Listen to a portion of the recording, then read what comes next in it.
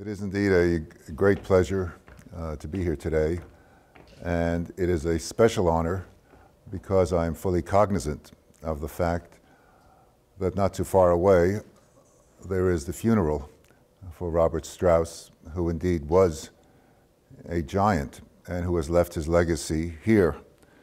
I would like, in my own way, to see if I could explore with you the, the depth of his commitment as exemplified in an effort to bridge two disciplines the discipline of law and the discipline of international relations. It's not easy to be able to bridge two disciplines. And of course, the center is dedicated to the virtues of an interdisciplinary approach. But before one can understand the virtues of an interdisciplinary approach, one must really appreciate, I believe, the perils of approaching problems, especially in the international sphere, by looking at them narrowly. And yet, each discipline tends to develop its own culture. Whichever discipline you are in, I am sure that you are aware of that fact. When I was at the American Enterprise Institute, they had two floors one for the economists and one for the people that did public policy. They hardly ever talked to each other, they couldn't bridge their differences. When I studied international law, first at the Hebrew University of Jerusalem, given my interest in the Arab Israeli conflict, and later at Yale University, where I did my doctorate, it wasn't easy because faculty members and other students would say to you, You're studying public international law? What is that? Uh, we understand private international law, that involves transactions, that's, that's real law.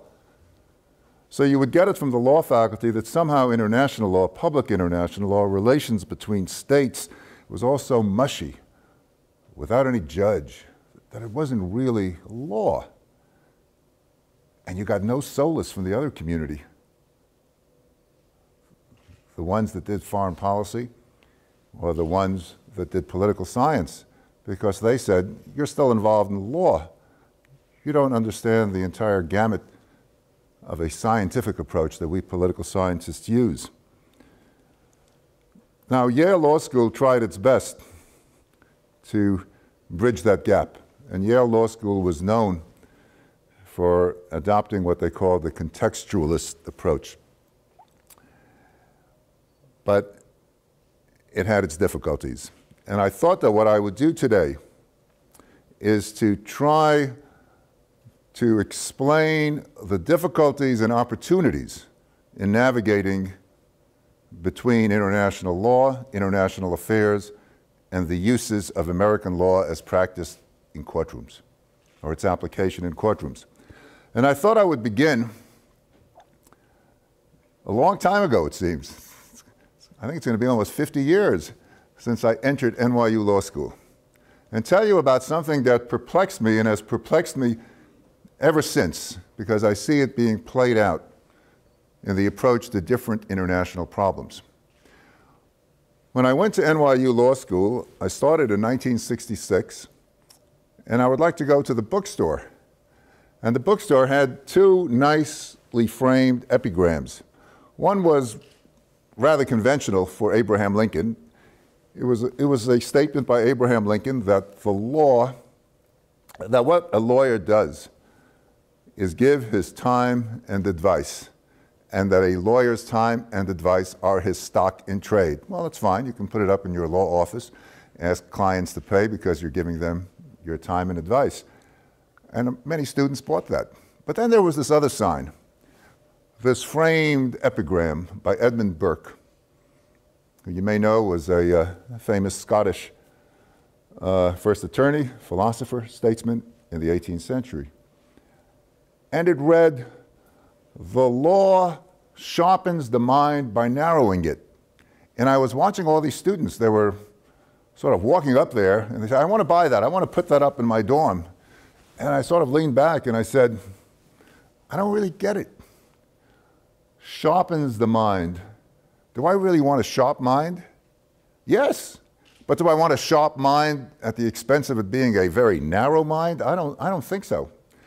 So I began to study my, uh, my schoolmates, who was going in what direction. And I noticed that there was a particular type that tended to really like this sign. I can't say I was a sociologist, but I guess that the ones that really liked this sign were the ones that saw themselves as being hotshot prosecutors or maybe hotshot defense lawyers. Because when you're, in a, when you're a prosecutor, you tend to operate not as scholars. You tend really to operate in a field where there is guilt or innocence. There's not a lot of gray in between. And there's not a lot of gray in between if you have a narrow but sharp mind. But I want to try to deal today and engage you in discussion about the perils and opportunities in both having a sharp mind and an unsharp mind. So let me, I've never done this before, by the way. This is a trial run. I woke up in the middle of the night and I said, let me try to do this as a PowerPoint instead of reading a formal talk. So if I have misspellings, etc., please forgive me. It's my first day. Okay. So here's the question that began to consume me back in 1966 as a law student. Is a sharp but narrow mind a virtue or a vice? And I gone to say that if you went before various bar associations and you took a poll of individuals, it, it might very well be very much divided. Now, I thought it might be useful to illustrate what I consider to be some of the perils of having a narrow mind when it comes to thinking seriously about international problems, international crises, like what's going on in terms of the challenge that the United States faces today in dealing with Crimea and how to respond to President Putin. For me, it has shades of the controversy that existed over Vietnam when I was a law student. Remember, we had a situation in which the North entered the South, the North crossed what was recognized as an international boundary, but the North said that, well, we're really one country. Russia says, Crimea, us, we're really one country. In fact, even the Ukraine. We all come from the same roots, but certainly Crimea, given its Russian speaking population majority, is all one. Uh, and we asked ourselves during the Vietnam crisis why should the United States care about something that might be aggression between the North and the South where they have a dispute. There must be disputes like this all over the place. Hundreds of countries that have difficulties with breakaway regions. Is the United States going to get involved? I mean, why do we care? And the answer was that we care because it's not just about the North going into the South. It's not about North Vietnam and South Vietnam. It's perhaps not about Russia going into Crimea as such. It's about its implications. And with Vietnam, the thought was that if North Vietnam was successful, in the South, it might be a precursor to other things, but only if you looked at it in the overlay, because nobody really believed that if North Vietnam was going to be successful in reuniting itself with the South, that it was then going to use that as a spring point, spring point for going elsewhere throughout Southeast Asia. It was only because we believed the leading lights at the time. My former professor, who I revere very much, and Dean of the Yale Law School for 10 years, Eugene Rostow, who was the Undersecretary of State for Political Affairs under Lyndon B. Johnson, and has written about this a lot, that it was being masterminded by Russia and by China. And that was what was at stake was preventing a communist ideology from subverting the new rules of international order. It wasn't between us and Hanoi, it was between us and Beijing and Moscow. Otherwise, why bother? Why invest this enormous treasure? And we had a lot of international lawyers of that mindset during that era. More were in government than at any other point in history, in U.S. history. Nicholas D. Katzenbach, great international lawyer too, was the Attorney General. Dean Rusk was the Secretary of State. He was not an international lawyer by profession, but you know, there's a Dean Rusk School in Atlanta, Georgia. It's named after him because he believed in international law. It was in his soul. And you had Walt Rostow, Eugene's brother, who was then the head of the National Security Council, and thought very much in similar veins. Henry Kissinger didn't think that way. Henry Kissinger thought that you really have to keep law out of the equation. Don't talk about aggression. Don't talk about self defense. Don't talk about Article 51, Article 52 of the Charter, especially if you're talking about great powers. In fact, it doesn't make sense to even talk about it at all because at that point, during the Cold War, everything was about great powers. You fell, you fell under the protection of either the Soviets or under the protection of the United States. And he said, the truth is, especially if you're dealing with great powers, we're in the same boat. You know, you may not like the person that you have to share an apartment building with. He may be violating rules about sanitation or the like, but you have to live with him. And you can't get rid of him, so find a way. And Kissinger elevated this, in his own phrase, into an art. He called it the art of creative diplomacy, which is about finding outcomes. And he recently wrote a piece that appeared in the Washington Post in which he talked about the Ukraine. And if you read what he says, because it's a little difficult to read his verbiage sometimes, carefully, you know that it's a retread of the old debate about Vietnam. Because he begins by saying, public discussion today on Ukraine is all about confrontation. Well, confrontation is another word for accountability. You're the aggressor, we're the good guys, you did something wrong, you have to be punished. Accountability. Let me just say a word parenthetically about the word accountability because accountability is now the key word in, uh, in criminal law. Somebody does something wrong, court martial, you hold that person to account. The original word is holding accounts, like an accountant has accounts, because it's important just to know facts. And then it gradually elevated in the English language usage from the French account to the more British account as an explanation. And then finally it went from explanation to retribution of sorts. Well, Kissinger says Ukraine really shouldn't be about confrontation. It shouldn't be about accountability. Our only concern should be about how it all ends. And he says, I have seen four wars begin with great enthusiasm and public support, all of which we did not know how to end, and from three of which we withdrew unilaterally. Four wars begin with great enthusiasm and public support. The day after, it was noticed publicly that there were Russian troops without insignias, as they're required under international law, in Crimea. The Wall Street Journal ran as its lead editorial the following under this banner headline Act of War. Well, Kissinger um, would have thought that was very ill advised because you can't get any stronger language about confrontation than active war. It puts you into a box. And if you don't respond militarily effectively, then you're perceived as weak. So you end up going one step forward and four steps backwards. And the New York Times carried an editorial, lead editorial, act of aggression. So this is what Kissinger wrote in his own way about that. He said that the West must understand that Russia, that to Russia, Ukraine can never be just a foreign country.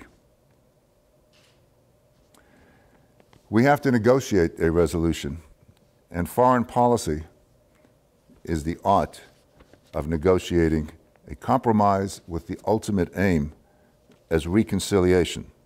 Instead, we have the demonization of Vladimir Putin, but that is not policy. That is an absence of one. By contrast, to be fair, yesterday, former Secretary of State Madeleine Albright had her own very long op ed piece in which she essentially took issue with Kissinger's view, uh, said, quote, that what we have is nothing less than aggression, quote, aggression that has broken international law, and that although he often talks about an analogy to Kosovo, that is simply not true, quote, because in the 1990s, international interventions in the Balkans were approved, contributed to, and governed by large numbers of states in many institutions and informal arrangements, including the UN Security Council. There's one problem with that. It's not true. UN Security Council never authorized military action or never explicitly authorized. Lawyers are in the business of construing things how they want, but it never explicitly authorized it. And Russia was shocked because if it thought it had been explicitly authorized, it naturally would have vetoed that resolution, just as it necessarily would have vetoed the resolution that allowed NATO forces to bomb Gaddafi, leading to his uh, death. Because Russia had approved a resolution at the UN Security Council allowing NATO intervention only on the grounds that it would be limited to preventing a bloodbath in Kosovo. So there is a reason for why Mr. Putin and Mada's council looks at things in a different way. Now, when I look at these editorials, I see a replay of the kind of debate that took place during the Vietnam War. And for me, it's reminiscent of the Edmund Burke quote that the law sharpens the mind by narrowing it. Is that a virtue or a vice? Lawyers think that it's a virtue. The basic approach of Madeleine Albright is that legalistic approach that was followed by Eugene Rostow and others. Nothing wrong with it in terms of an intellectual theory. But if you're wrong, there's a price. And the great thing about having an institution like this, which is interdisciplinary, is it teaches you how to evaluate the costs and benefits of action and not simply to deal with it on principle. Principle is fine. You know that in your own individual spheres. You can have the greatest principles in the world. You can say that I've been wrong in my job, that person is a terrible, terrible man or woman, I'm going to do something about it. But then prudence may dictate hey, he's stronger than I am. I can't do anything about it now. Maybe I'll have to wait until he's near a precipice and then I'll gently push him off. But you don't simply act on impulse. So you have aggression, that's about the toughest word that you can use. And you have a Kissinger school that's saying, let's just avoid that kind of language. After reading this, I thought it might be useful to go back and look at some of the earlier writings of Kissinger just to get a better sense of it. And I came across something which I found was rather chilling. Kissinger is trying to end the Vietnam War, and he's working very closely with President Richard Nixon. And they both decide that we need an honorable exit. We can't just seem to be defeated, you know, like a dog running away. Because if we are, we won't be perceived as a great power. If people question our resolve, then we open ourselves up to the use of force by others. And therefore, not that differently from President Obama with the surge in Afghanistan, he ordered a surge in U.S. military activity against Vietnam, directed some uh, a bit through its underbelly, through Cambodia, but it was a military surge. And Vietnam saw the writing on the wall and said, it's not worth it. and they put out the feelers that it's time for an accord. So picture this the man who's in charge of unleashing the, the surge against North Vietnam now travels to Hanoi to work out an agreement. And in his memoirs, he describes, and he doesn't describe, he quotes from his own speech that he gave in Hanoi. And I found it remarkable. So here it is. I put it up in my first attempt to use PowerPoint. This was in his book, Years of Upheaval, Upheaval published in 1982. This is the speech that he gave in, in Hanoi. Tell me if you don't find this chilling, because I did. We slid into war. slid means we didn't think it through. By the way, you know how many people died in Vietnam? About 40,000 Americans. How many were wounded? The extent of that war? It's a hell of a thing to just slide into war. Do you want to slide into surgery that you don't need? Slide into anything. Slide into war. We slid into war against each other partly through misconceptions on each side. In other words, if we were a little accurate, if we studied history, if we knew a little bit about the facts, we wouldn't have done it. We, the United States, thought the war was directed from one central office that was not in Indochina, meaning Vietnam, and meaning, of course, that we thought it was China or the Soviet Union. And I was wondering, what did the people in Hanoi think? Oh, well, they lost a million people. Imagine that. And all of that because you had this misconception that it was China and the Soviet Union that was directing the war. That's a hell of a price for your misconception. And what about the American soldiers and their families? That's a hell of a price for a misconception. So I put this in the category of the perils or the vice of having a narrow approach. I want to get back to this later on because what I would like to do, and I'm just going to ask somebody to signal me when my time begins to run out, if you don't mind. What I would like to do is talk about this in the context of my own professional experiences that revolve around whether it's a virtue or a vice to have a narrow, a sharp but narrow mind. A sharp is a virtue, but what about narrow? And I want to talk about three areas in which I've been involved. In fact, I could almost say three eras. The first deals with individual accountability for war crimes. The second moves from individual accountability to state accountability for the equivalent of war crimes, or worse, for masterminding terrorism and genocide. And accountability through the use of international forums. And the third area is state accountability, but not in multilateral fora, but in U.S. courtrooms. So if you will indulge me, I'll go through this, always in the background, if you would keep the Edmund Burke phrase, and the question that I asked myself back then about it being a virtue or a vice, and the fact that it may be both or neither, and that there may be some way to combine the two. All right, let's see if I can use this. All right. So first, first, uh, first phase, individual accountability.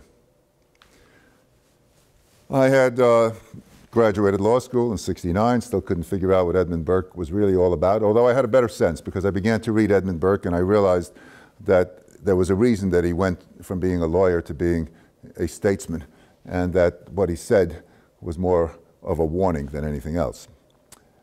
Um, I then spent uh, some years uh, teaching, tried to get some experience as an attorney, worked in the Justice Department doing appellate litigation, and wanted more hands-on experience as a lawyer in the courtroom.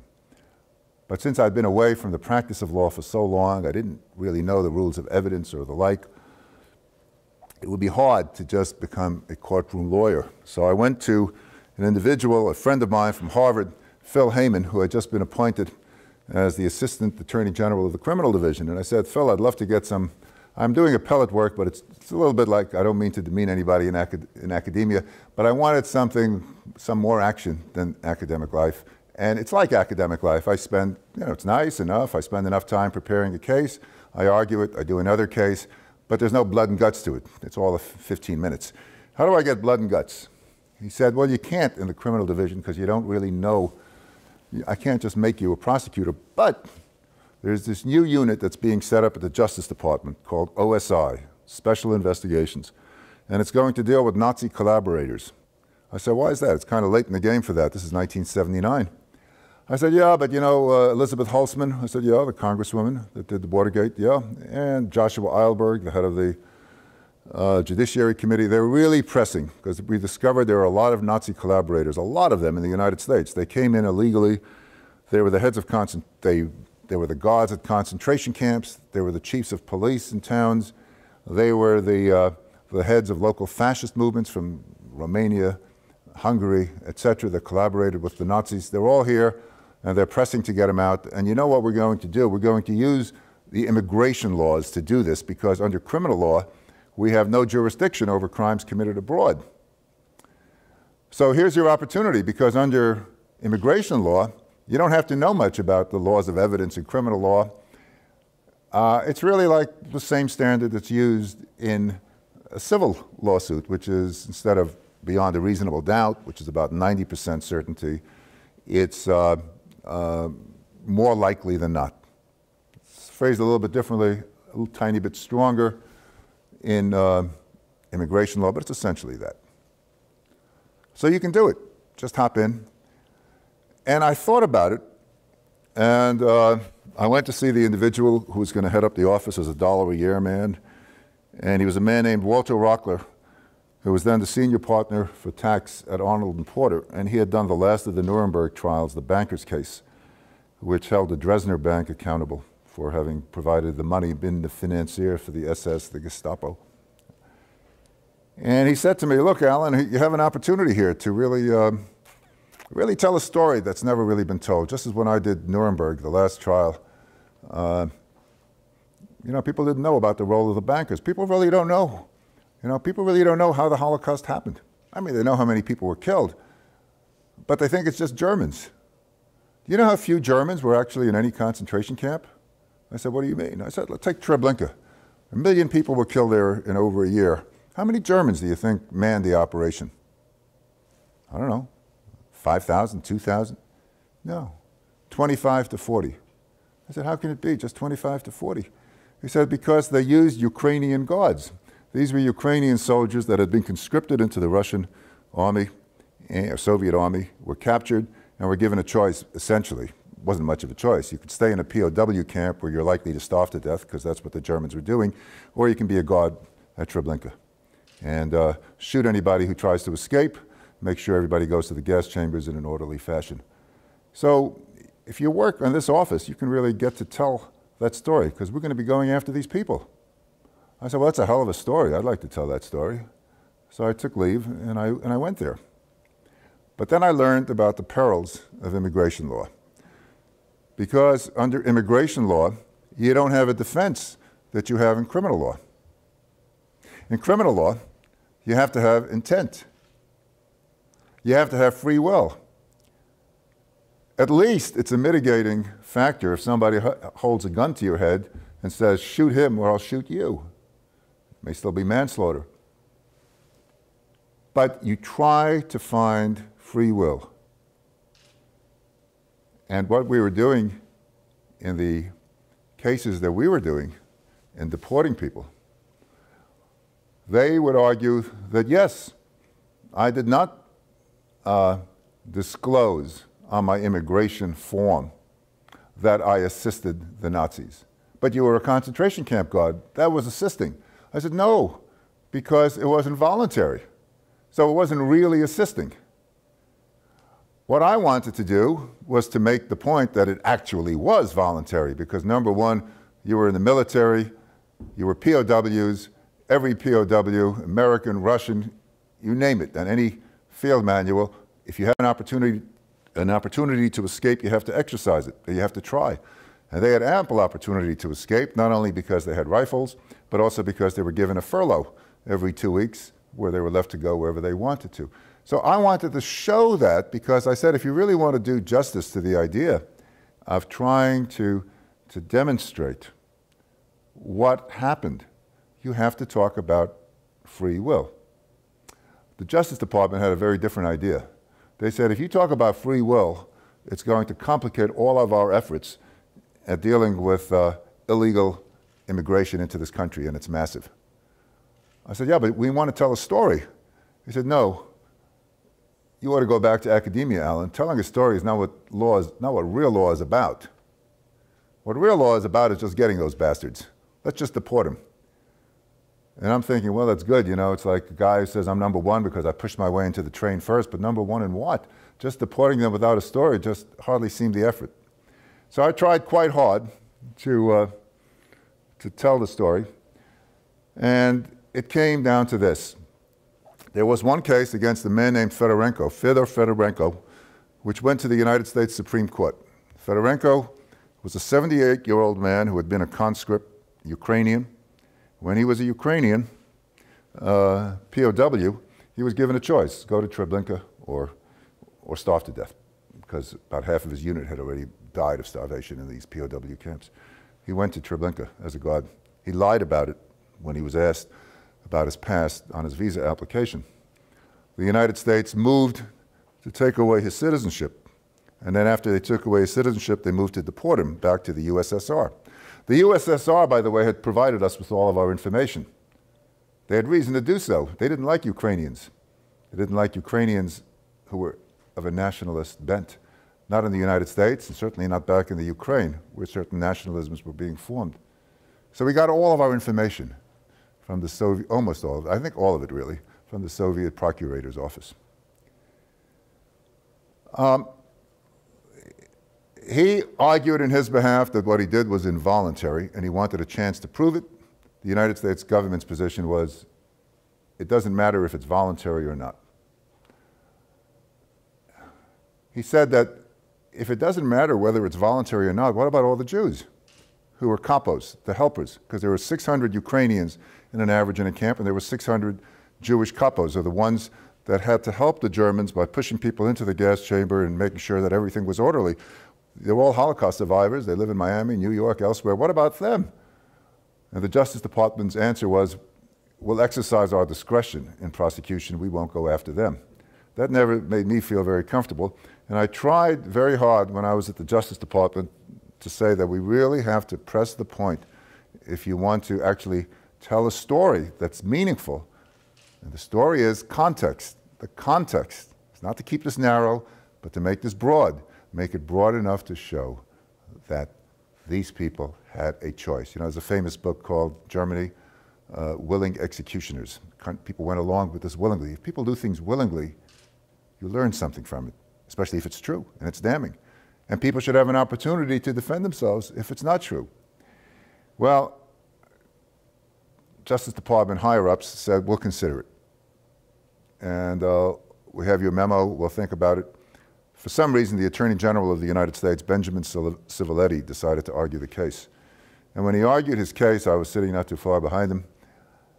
Justice Stevens looked over and he said, in these words, which are from the record, he said, Tell me, Mr. Attorney General, in your presentation, you refer neither to Nazis nor to Jews. So tell me, is this a case about historic justice, dealing with the Holocaust, or is it just as easily about illegal Mexican aliens? And the Attorney General responded, it's about the broad enforcement of U.S. immigration laws. At that point, I knew I wasn't made for that office. And I saw in that experience the perils of expanding U.S. laws, like immigration laws, which are inherently limited to deal with matters of crimes committed abroad. And for that reason, I'm very happy today that we do have a war crimes tribunals for Rwanda, for former Yugoslavia, and elsewhere that have been set up by the United Nations, and that we have an international criminal court with all of its faults, which gives the United States pause. But at least there is an opportunity because you don't really tell a story unless a person can raise his defense and you try to overcome that defense and show that this was done willingly. So when I left, I wasn't quite sure what I was going to do next. Uh, but I had a call from a woman named Jeane Kirkpatrick, who was then appointed in 1980 as the U.S. ambassador to the United Nations. And she asked if I could join her because I had been recommended by my old professor, Eugene Rostow, who was then the head of the Arms Control and Disarmament Agency. Uh, they were both sitting together at the NSC, and it was right after Israel had bombed the Iraqi nuclear reactor at Osirak. And she was instructed by the State Department to join in a UN Security Council resolution condemning Israel's bombing as, quote, an act of aggression. And she said to Gene Rostow, as she told me later on, You know, Professor Rostow, I am not an international lawyer. I'm a political scientist. But I know enough to realize, even though I do not speak that language, that aggression is a loaded word, and that if someone is deemed guilty of aggression, he has to face a legitimate self defense response by victims. I also know that aggression does not seem appropriate where there was provocation. And an Iraqi nuclear reactor aimed at Israel seemed a hell of a lot of provocation. And of course, the United States is now very grateful to Israel for having taken out that nuclear reactor when it did, or there would have been real weapons of mass destruction. So I, uh, I joined Jeane Kirkpatrick, and the first thing that came up was the battle of law. 60% of the UN's business at that time was taken up by the Arab Israeli conflict. And regularly, there was an effort made, a consistent effort, to condemn various Israeli practices, not simply as being unhelpful or a hindrance to peace, but as being clearly unlawful, a violation of international law, a violation of the UN Charter. Settlements, well, the United States thought they were a hindrance to peace, but that we want them condemned as a violation of international law. East Jerusalem, Israeli holding on to it, violation of international law, aggression or just a hindrance to peace, if that was our belief. Uh, the United States ended up vetoing six Security Council resolutions that used the word illegality. We argued that the word illegality is not appropriate because the ultimate aim, which is what Kissinger gets at when he talks about being result oriented, what is the ultimate aim? Is the ultimate aim simply accountability? Well, it can be in a U.S. court, just put somebody in, in jail, and very often that might be. But the real ultimate aim, certainly in international affairs, has to be reconciliation. But to use the great phrase that Mandela used, truth and reconciliation. We can ask ourselves later on whether that policy was ever pursued in Egypt, whether we, we even tried to suggest to any of the parties that they follow in some fashion, in some form, truth and reconciliation rather than retribution. So, um, we um, made, oh, Kirkpatrick made the argument to President Reagan that we have to stay away from, the, from, from this language because it serves simply as a distraction from the cause of peacemaking, which was the ultimate cause. And this was the language that became the official U.S. policy throughout that period. Now, the fact that there is no reference to words like aggression or illegality does not mean that you're impotent. It doesn't mean that you can't condemn action that you think is politically unwise.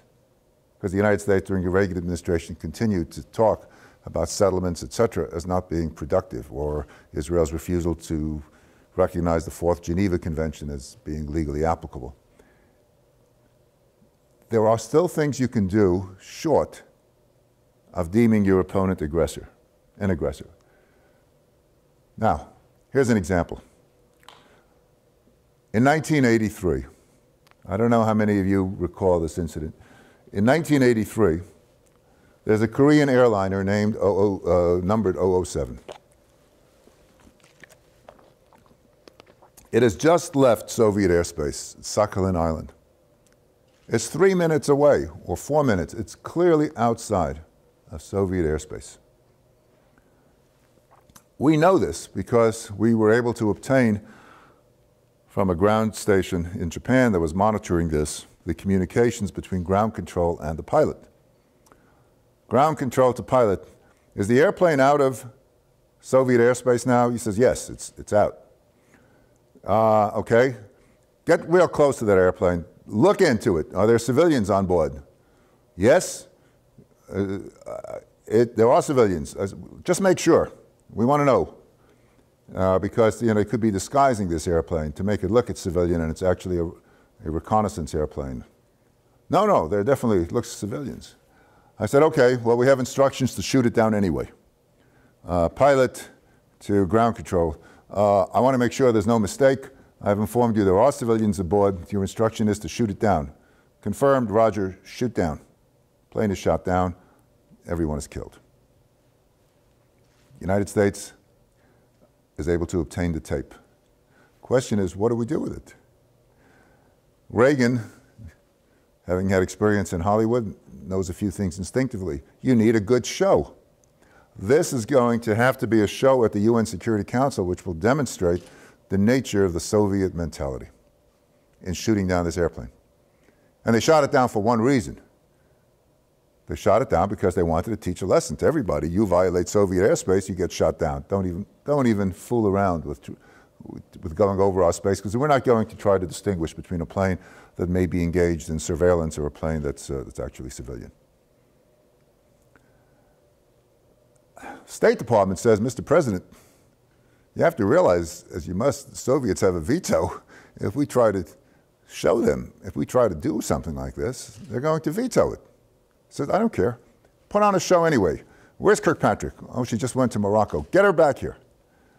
She's recalled. I meet her, intelligence chiefs, community people. They come up with the um, what, it, what it was then, a VHS, I guess, uh, the transcript. And we fight to get permission from the UN uh, Secretary General to allow us, for the first time in the UN's history, to put up a massive screen.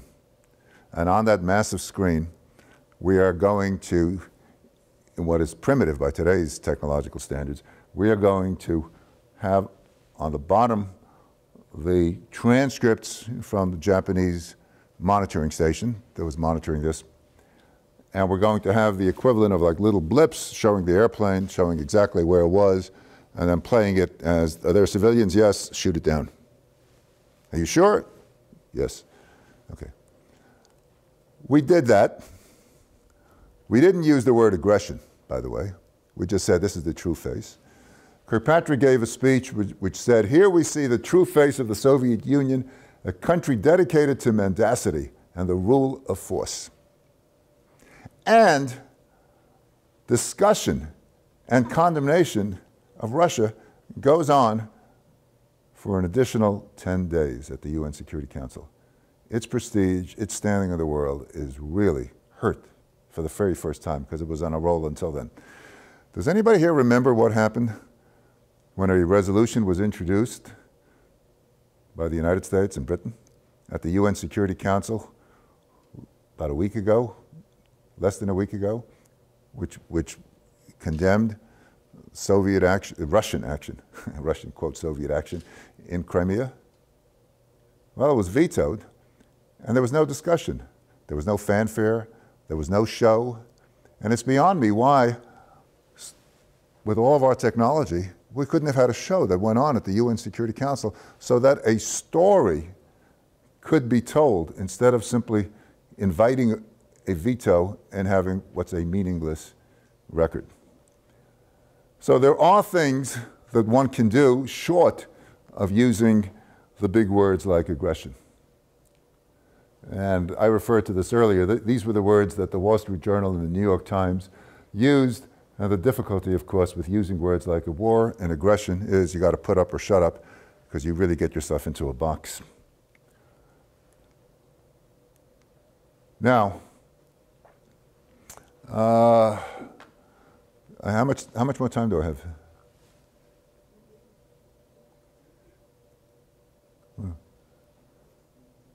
What? Ten minutes? All right. Let me move on quickly for the last segment of my experiences. I went from individual accountability, state accountability in multilateral institutions, and then state accountability in U.S. courts. You asked that I speak about this, actually, about the Pan Am 103 and the like.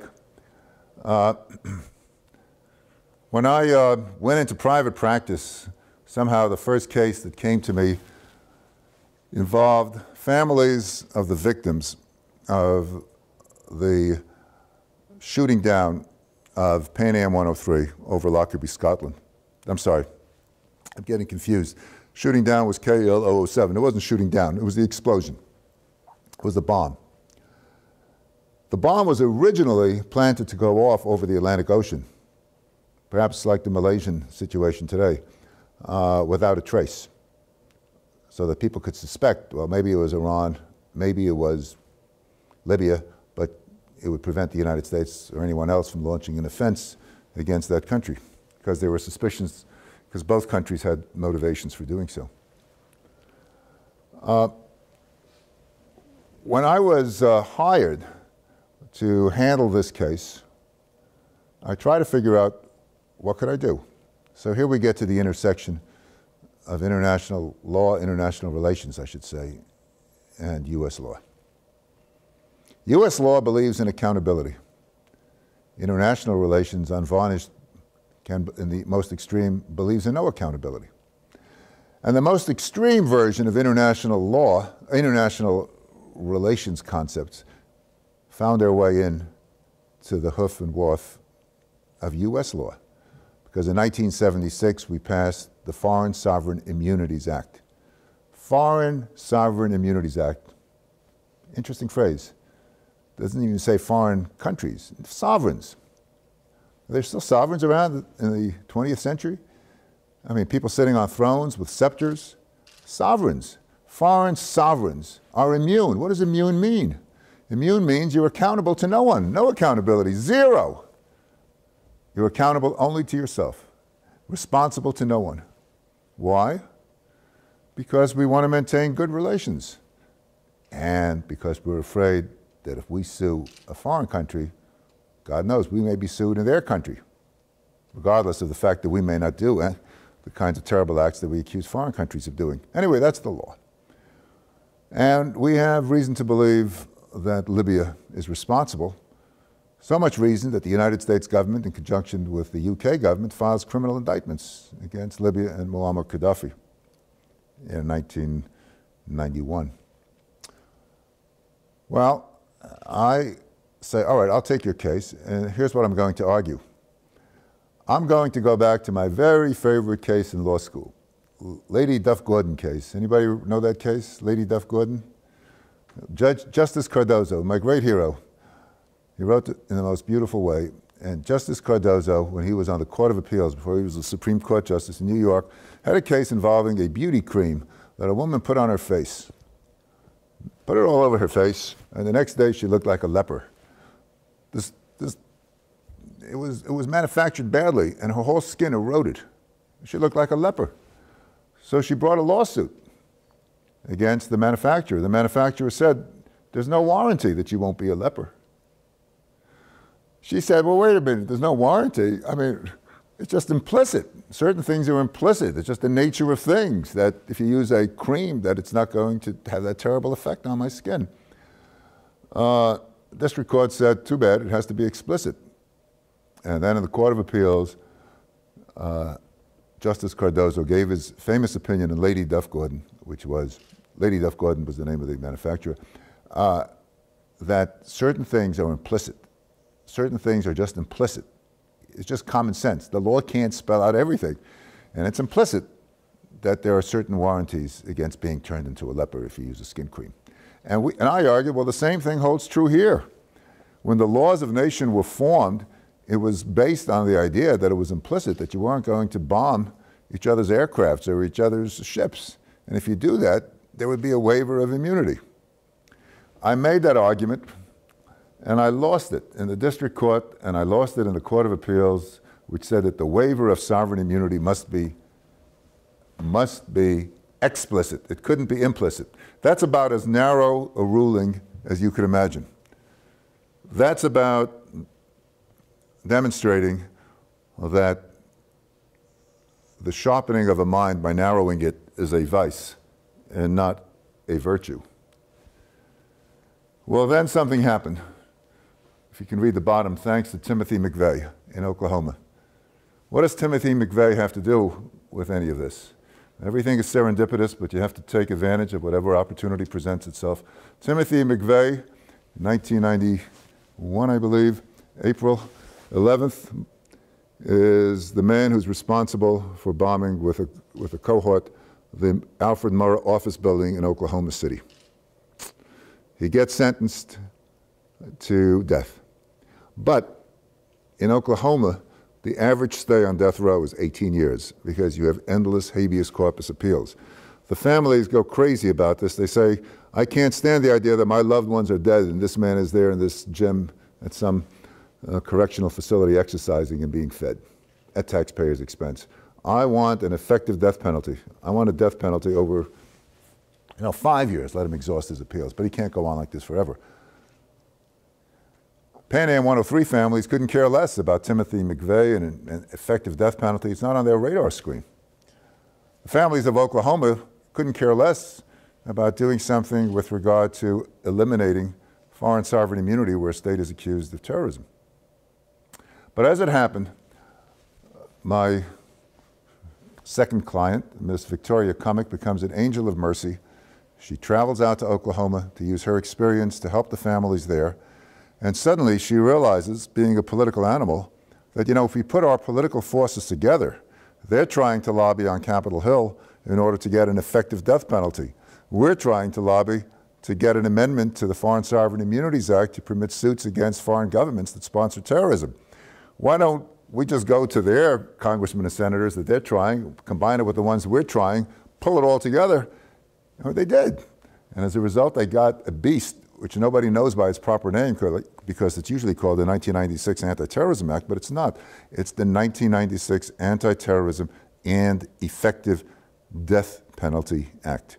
Where does this fit into the, this whole equation? I'm not quite sure yet, but I think it's an interesting story to tell. After that, we, of course, were able to proceed against Libya after some trials, and it ended up, uh, we, we had a resolution whereby Libya paid, as is public information, a settlement of $2.7 billion to the, uh, the 270 uh, families of victims. To the families of 270 victims.